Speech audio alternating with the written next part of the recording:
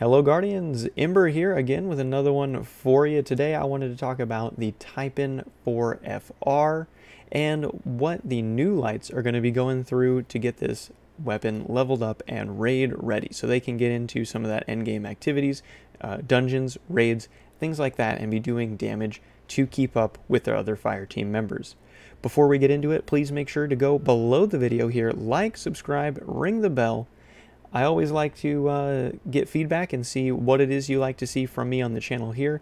And if there's anything that you would like to see moving forward, don't hesitate. Throw a comment down there. And don't forget to stick around for the end of the video where I will have an original meme put up. Anyway, let's get into it. So what kind of drove me into making this video in the first place is that, you know, you go up here, you see I have about 1700 legendary shards. It's not a huge amount I definitely know Guardians who have tons and tons more than that, but that's still enough that I could go to Hawthorne, pick up some raid banners, and head over to the Shuro Chi encounter in the Last Wish raid, fire off as many rounds as it gets me, wipe, and just rinse and repeat. But for the new Light Guardians, they don't really have the legendary shards to be spending on that. You know, they're going to be saving up for good armor rolls at Xur. They're going to be saving up for those uh, exotics and the uh, exotic that gives you a, a, random unobtained exotic from Xur as well. There's all kinds of things they're already sinking all those legendary shards into. And so I wanted to find a way that the new lights specifically would be able to go in and get the new Taipan fusion rifle leveled up to the point where it can be about raid ready. I have this right now with triple tap and frenzy. Those are around level 8, I believe, while you're leveling up the Taipan. And I got to that level in about four or five runs of this activity right here. Let's see, the Dares of Eternity here. So for those of you that don't know, the Dares of Eternity is kind of a, a fun game show that Xur hosts. Uh, you can go in there, it's a six player activity and you're going to go through all kinds of different rounds.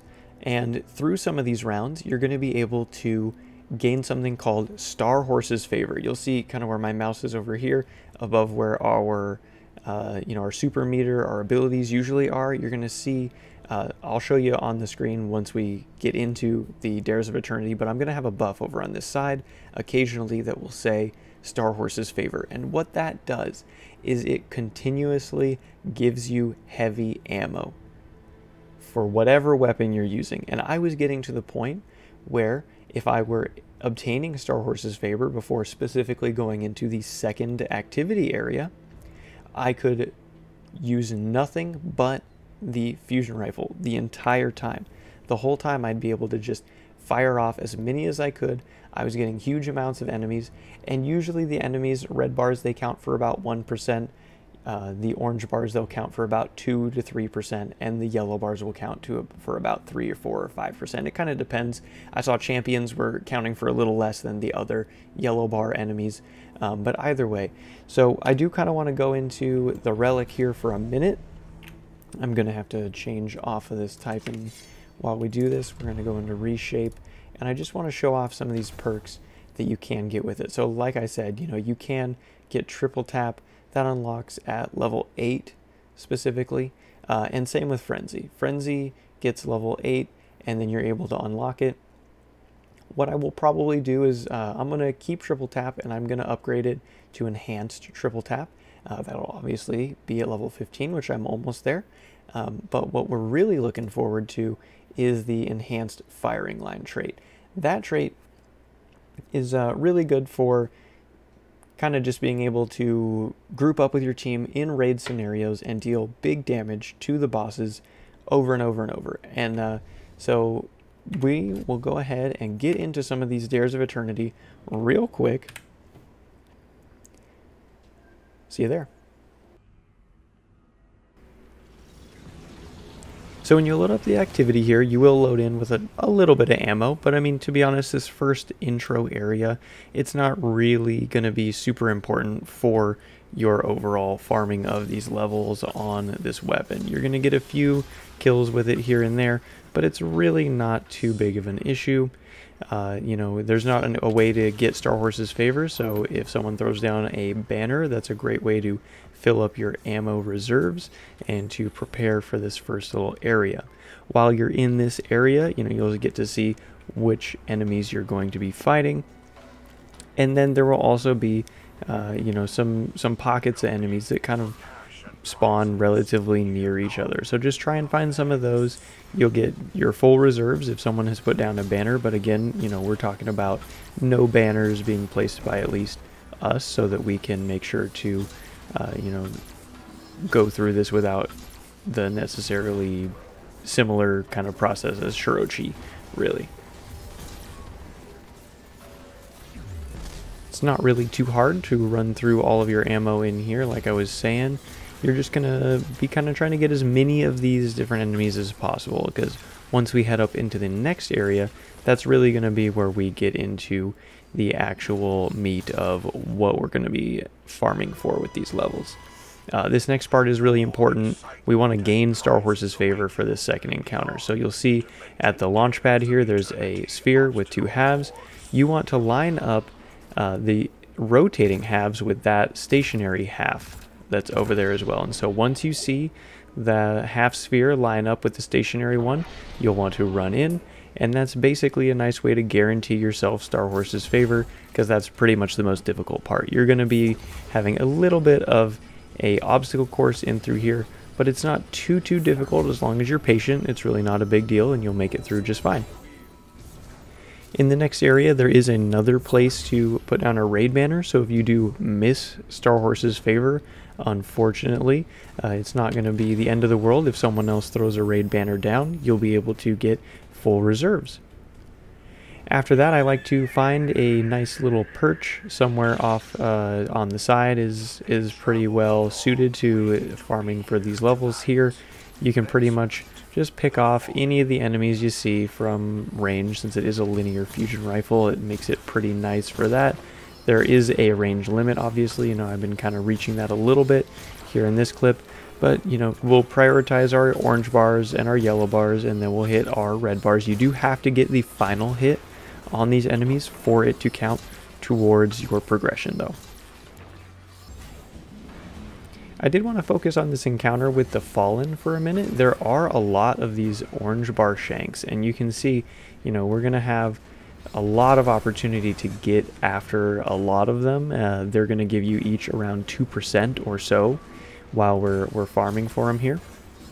So it's they really just kind of come nonstop. You can you can look one way. If they stop showing up there, you'll be able to turn around and you'll find a big old pile of them wherever you're looking next. And so if you can kind of single out the ones that are on the edges first and not shoot the ones that are directly in the middle, you'll be able to kind of maximize the amount of these shanks that you're able to farm because you're not going to be having them all blow each other up. That's uh, one thing you'll kind of see over here in a second. I will kind of make a turn and shoot one of the shanks that's right uh, in the middle and they're all so close together that it just blows up all of them and I only get one kill rather than all of the kills for uh, those shanks there for them. So you can just continue to farm, you know, as usual. It's not really, uh, you know, too difficult, but I mean, as you can really see, I'm never running out of ammo as long as I have the Starhorse's favor here. Um, I did not get any of the footage with Starhorse's favor in the second room, but you'll kind of see there are these three large doors with different symbols and a plate that corresponds. This is all luck. It's all luck of the draw. There's no way to tell which one is going to appear with Starhorse's favor, and if you don't get it, you get Starhorse's penalty for a minute. Uh, that's not really too big of a deal, but you don't get the infinite uh, recharge that you would like to get. Um, you're really able to just kind of post up, find some of these enemies here, whatever works best. Hopefully you find uh, a good amount of yellow bars, orange bars. The uh, hive one uh, in the second room here spawns a significant amount of yellow bars I actually found. Tons of them uh, in the forms of wizards, champions, and uh, knights just in general, just regular knights as you'll be able to see. There's a lot all over the place and really no shortage. You just want to do your best to make sure you're getting the last hit on these knights. Again, like a, uh, that's very important when it comes to making sure we're, we're doing the farm correctly. And lastly, I wasn't sure if I'd be able to get this footage here, but I was able to get one of the lightning rounds to drop for me. That is a very great way to, you know, especially if you did not get Starhorse's favor going into the final activity here and you're not really heavy, uh, heavy ammo full, then this is a great way to kind of make up for that a little bit. You get you get into here, you'll see there's a larger enemy in the little radius of B there. Once that is killed, it spawns a heavy chest. So you can go over to those heavy chests and they fill you completely all the way up to the brim with your heavy ammo. So that's another way that you can continue to farm for a lot of these activities.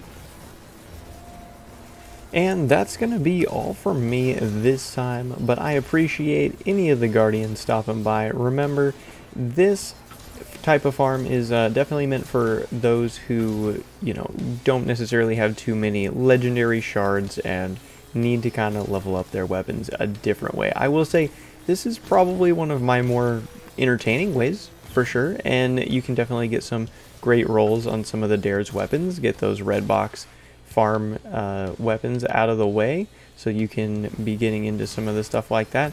Don't forget to uh, check out under in the description of this video here for a link to my Twitch channel. I do go live every Monday, Tuesday, and Wednesday from about 1 p.m. to about 7 p.m. Pacific time.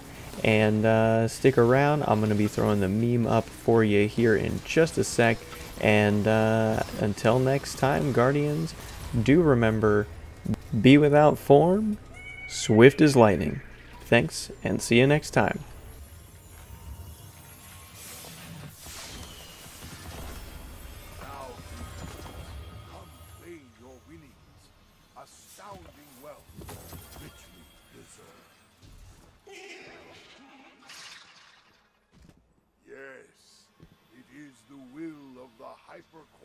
horse that no one returns empty-handed from the dares of eternity. Good night.